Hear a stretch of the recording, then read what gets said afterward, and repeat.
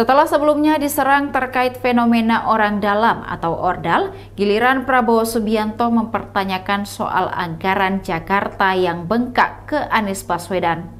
Menurut Prabowo, Jakarta punya anggaran 80 triliun untuk 10 juta masyarakat. Mengapa tak bisa mengatasi polusi udara di Jakarta yang makin runyam? Calon Presiden nomor urut 2 mengatakan tidak bisa menyalahkan angin terkait indeks polusi di Jakarta yang masih tinggi. Ia pun mempertanyakan anggaran 80 triliun untuk mengurangi polusi kepada Capres nomor urut 1 Anies Baswedan yang pernah menjabat sebagai Gubernur DKI Jakarta dua periode. Anies kemudian menjawab bahwa polusi udara tidak hanya kontribusi dari Jakarta sendiri, tapi juga dari luar yang mana polusi tersebut tertiup angin hingga tidak bisa dikontrol. Pihaknya hanya mengusahakan dengan menyiapkan infrastruktur transportasi umum memadai untuk mengurangi penggunaan kendaraan pribadi. Dari sebelumnya hanya 300 ribu orang menggunakan kendaraan umum untuk beraktivitas,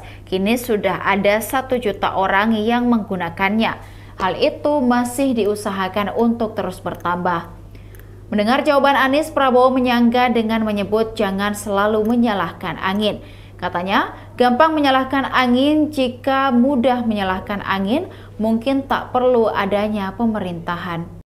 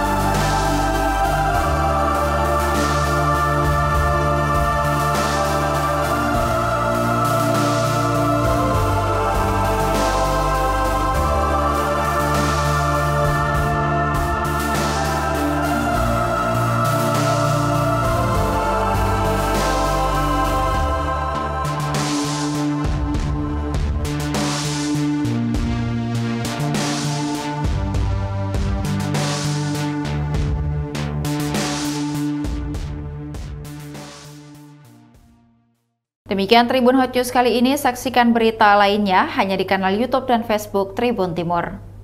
Download Tribun X sekarang, menghadirkan lokal menjadi Indonesia.